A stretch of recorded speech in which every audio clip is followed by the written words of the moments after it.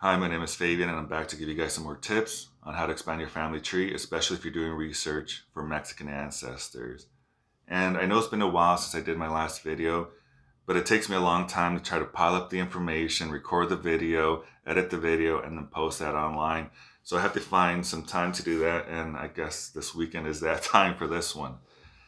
And as you can tell by the title of the video, I'm going to be sharing with you guys some of the resources that I use to help me expand my family tree and I hope you guys find them beneficial.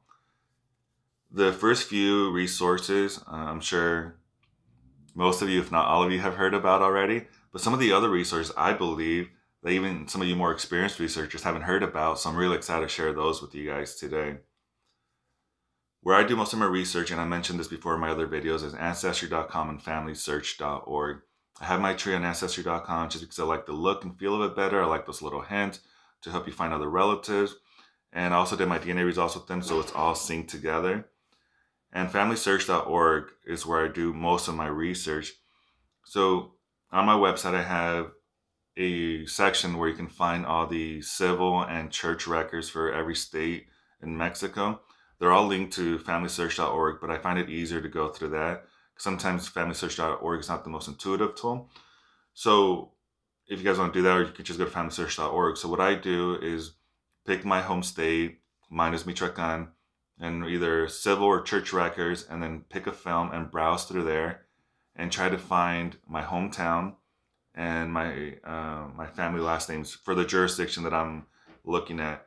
Because what I find is that a lot of these small towns with your last name and you'll find that a lot of people are related in one way or another. So, and if they're not um, indexed or transcribed yet, you can do your own research that which is browsing through the documents. I know it sounds like a lot of work, but it really is. And once you get it, get the hang of it. So the other resource that I want to share with you guys today, this one's a little bit more fun. This one is a Facebook group and it's called Mexican Genealogy. And what I like about this group is I know a lot of us who are from the States or from other parts of the world don't know how to speak uh, or read Spanish. I do, but I'm, i have a lot of people like, I wish I could do more, but it just, I don't know how to read um, some of these documents. So what I find on here, a lot of people will get one of those documents that they believe has has their ancestors, or they know they have their ancestors, but they can't read the whole thing, and they need some help transcribing it. So they'll post that document on here, and within two minutes, you have like six or seven people deciphering it and giving you their opinion on what they think is on there. There's also people asking for help trying to find lost relatives or posting pictures of their ancestors and just asking for just general advice. Hey, I'm from this hometown in Mexico, from this small town in Mexico. Um, is anyone else from there? Or this is my last name from this area. Am I related to anyone on here? And people will respond and help each other out. So I think it's it's a great tool, especially for a lot of us or a lot of you guys who don't know how to read or um, speak in Spanish. And they also have subgroups for each state in Mexico. So I joined this Mexican genealogy group, the main one, and I also joined the one for Michoacan. And the one in Michoacan, I was able to help a few people expand their family tree. Uh, but just if they have a question or I posted, hey, this is where I'm from, and some people like, well, I'm from there too. We private message each other, and I was able to help them expand their tree and help them decipher some of these documents because I see them all the time, and I'm pretty good at reading through some of this um, chicken scratch. So the next resource I'm going to be sharing with you guys is called Valladolid Dispensas, which means dispensations from Valladolid. And I should give you guys a little disclaimer. Every source from here on out deals with the state of Michoacan, and that makes sense, right? I'm from Michoacan, that's why I'm focusing my research. But hopefully you guys can pick up some keywords and ideas and find something similar for your home state by me showing you what I found in these other sources that you can use. If you're Michoacan, this is perfect for you because um, maybe a lot of you guys don't know about these yet. So this website here, Valladolid Dispensas, what they do is they also kind of browse through the family search um, records that haven't been transcribed or indexed yet. And they read through them and they index them for you. So they do the work for you. So they tell you um, what the what the record is about, who it involves, the jurisdiction where it's from, and the image number and where you can find that in the film. So let me give you an example here. They don't have the best search tool, um, so you're gonna have to play with it for a little bit. But if I go to search and I'm gonna search my one of my family last names, which is Guante, and it's a unique last name, um, so I can almost be sure that if I find a Guante from Michoacan, especially from my jurisdiction, it's gonna be a relative of mine. So once you type Guante and you just go, look through the search, you go down and browse through the um, the results that it gives you. And here I find a Silvestre Manuel del Guante and Maria Rosalia from Zacapo. Zacapo is the jurisdiction that I'm from, and that's a Guante, so I'm pretty sure that was someone that it's going to be related to me.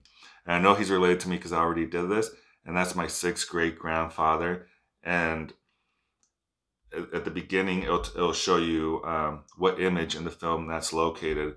So you open up the film right above where you, the search results came from. And then you're just going to type 21 in the search, uh, in the little search um, box there. And it'll take you to the actual document. So this isn't transcribed yet, and it's not indexed on FamilySearch.org, but this group did that for you. So just go on there and kind of search for your last names or jurisdictions, and it'll come up here. And here you'll find um, Silvestre Manuel del Guante con Maria Rosalia. It's an engagement record. They're trying to get dispensation so they can get married. And what I discovered here, I discovered their parents. I discovered they were free mulattos and their approximate age. So that helps me grow and expand my family tree. So I think that dispensations from Valladolid is a great tool. And hopefully there's something similar in your state that um, has a similar website like this.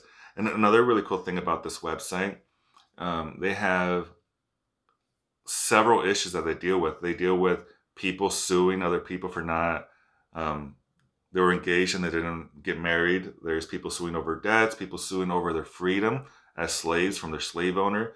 There was a man suing a slave owner for for him beating up his wife. Um, and there's also people from all over the world here. I shouldn't say all over the world. There's certain areas of the world Besides Spain and Portugal, I found people that were from Africa and more specifically Angola, um, Ireland, the Canary Islands, the Philippines, um, Italy. So all these people ended up in Michoacan, and some of this information isn't available where you can find it if you browse through all the documents on FamilySearch.org, and we're never going to do that. But this group is, I think, it's a group of volunteers, and they're doing this for us. So they did the work for us. So we just have to go and search um, through their records and see if you can find some ancestors of yours. So the next few resources I'm going to be sharing with you guys are books. And I don't think we, we do a lot of research on books anymore, but there's a lot of, of books that I found that have some genealogical records. I don't know if I said that right, but for example, since I have this one in my hand, this one is called Familias y Casas de la Vieja Valladolid. I remember Valladolid was that former capital of Michoacan, now known as Morelia. And this has all the families and the houses. These are the, the wealthy, well known, rich families um, that came from Spain and Portugal and France that lived in Valladolid. And what they'll have on here, they'll have like the family seal. This is for Ponce de Leon. They'll give you a a quick history on where the family comes from, who's like the patriarch, or the matriarch of that family, and they just give you a little brief history. They come, um, the Ponce de Leons from Mexico. These come from Tolosa in France. Tolosa, France. I, I think I butchered that, but I think it's Tolosa, France. And then they'll have like, they'll go like the parents, then their children, and then the children's children. And it's a great book for um, finding ancestor that way. I found on here in the Ponce de Leon it was my ninth great grandparents, and then I was able to trace it back all the way to Spain, and I guess all the way I haven't traced it all the way to Tol- Tolosa, France, but it goes all the way. Um, that's where they say the family originally originated from. A little redundant there, but that's one of those books. And look, this one um, hasn't been checked in a long time. It's really moldy, and but it has great information. And I'll show you guys how to get these um, for free so that's one. Here's another one. This one is called Repertorio Michoacano from 1889 to 1926. This is basically the who's who of uh, Michoacan from those years. And what I like about this one is that not only does it have like, um, it's not as in depth as the one that I just shared with you guys today, but it'll have, um, it'll tell you like where who the person was, where were they born, sometimes their family, their parents, their kids. And what I like about this, it also has pictures. It has pictures of the people that were from Michoacan, and I'm sure if you're if you're from Michoacan, someone has to be on here that was related to you. Um, not just because you're from Michoacan, but I'm sure somebody will find relatives on here and they'll find pictures of their relatives. So it has like um, poets, politicians, um, priests, um, political parties, newspapers, everything of like the who's who of Michoacan during this time. That's another one. Some of the other ones I I have quite a few books, and I put this on the description. I have a few books that um, I was not allowed to take from the library. So what I do there, I have a an app that I can just scan the books, and it scans it automatic automatically. It OCRs the document, so I can just search the PDF after I'm done. And I wish I could share these with you guys, but I'm not sure how the copyright issues work. But if I tell you some of the names of these books, you guys can go and search for them. Oh, and what I like about this too is that they have a a lot of these have a bibliography, so you can. Um, I don't know if this one does. Yeah, so it has a bibliography of where they got their information from. So now you have all these other sources that you can go and find more information on these people. So the other books that I have, another one is um, Propietarios y Esclavos Negros en Valladolid de Michoacán from 1600 to 1650. These are the, the slaves and the slave owners during that time. And the, the one, their sixth great grandfather, Silvestre Manuel Guante, it said that he was a free mulatto. So I haven't gone back to 1600 to 1650, but maybe if I trace my my, my roots further back, maybe he, at one point they were enslaved mulattoes or enslaved black people. Uh, but I'll find that with more research. But that's another book, and I've gone through this one. Um, I started reading this one because I actually want to read this whole one. Like these other ones, I just want to search for certain keywords or certain people because it's not something to read. But with this one, I do want to read this book, and I haven't um, had time to quite go through it yet. And this one, this is one of the keywords I want you guys to keep in mind because you know how we have the 1930 Mexican census, or we're like, well, where are the other censuses at? Um, and they're not available to us. But the word padrones, which means it's like a register, a census, the church used to do these every single year. Um, they would have people confess and get their um, communion, and then they'll do these padrones, all these registers, basically a census. And this one is called Partidos y Padrones del Obispo de Michoacán from 1680 to 1685. So this is basically a census for that time, but it's based on jurisdiction by jurisdiction. For example, I'm going to go to the jurisdiction that I'm from, and you're going to see that there's not a lot of information. But what you will see is first it'll give you a, a description of the jurisdiction, and then you can go and look at, I'm just waiting for this to load and then you can go and actually look at the little census they did there.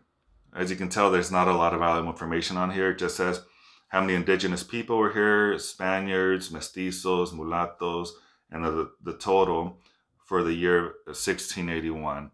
So you're like, well, that's not going to help me expand my family tree. But if you look at a different jurisdiction, this one is um, Huiquilpa, and I'm pretty sure I butchered that, now known as Huiquilpa, Hui, Hui, Quilpan. I'm sorry for butchering that. But again, I'll give you a quick little description there.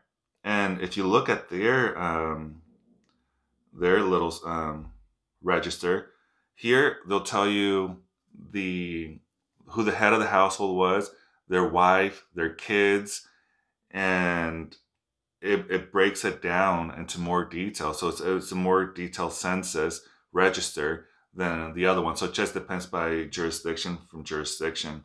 So Los Padrones only covers from the year from 1680 to 1685, but I'm going to show you guys how to find more, and they're on FamilySearch.org. So you can go to my site because that's where I go because it's just easier for me to use, and click on the church and civil records, and then scroll down to your state. Mine is Michoacan, so I'm going to click on Michoacan, and find out what the um, archdiocese was for your state and then search for that. So for me, it was Valladolid before, but it's known as Morelia now. So I'm just going to go to Morelia. And then you click on your archdiocese. It might be a few there, but just find, just play with it until you find the correct one. And then once you're there, type the word padrones. And here, once I type that, I have a lot more. They're from 1668 all the way down to 1896. So there's a huge range of padrones. And what you would do on there, you would click on that, find your jurisdiction, and then go through them. And a lot of some of those are very detailed, like as, as you saw from Huicuilplan, Huicuilplan, that that one. And some weren't as detailed as the one from my jurisdiction was from Zacapo. But if you look at other ones, they change depending on who the priest is during the time. So that's a, a key word for you guys to look out for. Now you're probably wondering where I got all these books, and I told you you can get it for free. So to find those books, what I what I do, I go to Google Books, and then I type like the keywords that I told you right now. So I'm going to type Michoacan Padrones. I scroll down, I see it. You can click on the book, and it'll tell you probably where you can find it. Um, or sometimes Google has some of these books that are for free, so you can just see them that way. But what I like to do is copy the, the title and go to worldcat.org. And worldcat.org basically tells you where these books, which libraries have these books. So I'm just going to type the the title of the book. And there it is. I'll click on it. and then it'll tell you which libraries have this. You type your zip code, and they'll tell you which libraries close by to you have this book. This one um, actually came from a library in Phoenix. And you're like, well, how did you get it from a library in Phoenix? Well, there's a program from that the libraries, a lot of the libraries use called the Interlibrary Loan Program. And you just call your local library up and say, hey, do you guys participate in this program? And if they do, you just tell them what book you're looking for. They'll ask you like, what's the title, who's the publisher, um, who's the author. You'll give them that information. They'll post this on their interlibrary loan program. Some other library will send them to send them to your library, and you can go and get it for free. And then you can check it out. That's how I got this book. Sometimes these books aren't available for sale online, and if they are, they're really expensive. For example, this one I think was either 400 or 800 bucks. I know that's a big range, but that's I was like, well, I'm not going to buy that book. And what if there's something valuable in there? This one actually came from Penn State. Um, I found that I saw it on here on worldcat.org that it was at Penn State. I called them and I had them transferred over here to one of their satellite campuses and went and picked it up right there. I'm going to take this back. So hopefully, if you guys are interested in this book, I already OCR'd it so I can search through it. I don't need the book anymore. That way, you guys can also use this. And like I said, this one was from Phoenix. And the one from Partidos and Padrones, that one's actually from um, the University of Penn here in Pennsylvania. They wouldn't let me check that book out, but I went there and scanned it. So a lot of these you can get for free. And if you scan them and OCR them, then you can search for them at home, like just another searchable document, which I think is great. So those are the records. Those are the ones that I think a lot of you guys weren't familiar with and how to find them. And hopefully some of these tools that I showed you, some of these keywords will help you guys find more records and more books and even websites.